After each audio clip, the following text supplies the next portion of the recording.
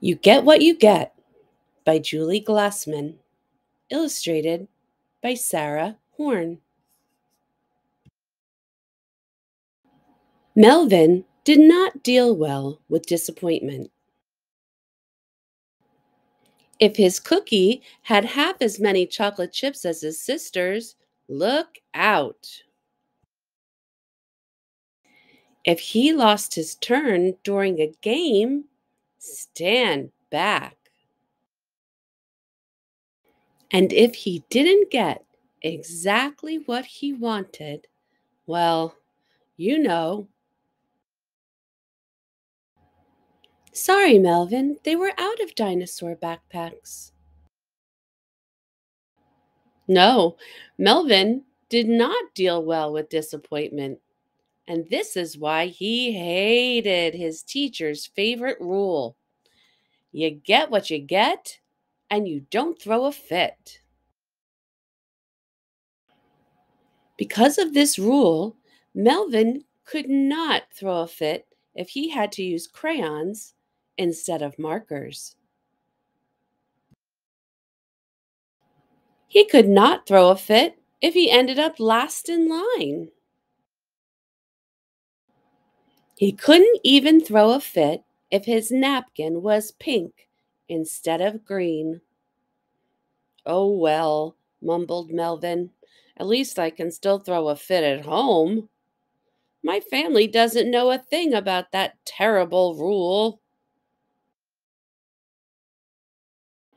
But that night, when it was Melvin's turn to choose the movie, things changed. As soon as he'd chosen Dinosaur Rumble, his sister stomped her foot and whined, But I want to watch a pony called Trouble. Too bad. You get what you get and you don't throw a fit, said Melvin. Everyone stopped and looked at Melvin. What did you say? asked Dad.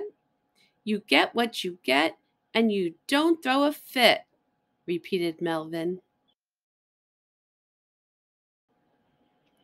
So, if your cookie only has a few chocolate chips, you shouldn't throw a fit? asked his sister.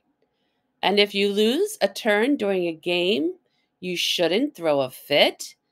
asked his dad. And if the dinosaur backpacks are all sold out, you should be happy with the robot one, and you absolutely should not throw a fit? asked his mom. Melvin gulped. There was no way to take it back. Everyone knew. Well, I mean, at school you shouldn't throw a fit because that's the rule. But at home, you can, he said. I think that sounds like a good rule for at home, too, said Dad. I agree, said Mom. Home and school, that's the rule, his sister chanted.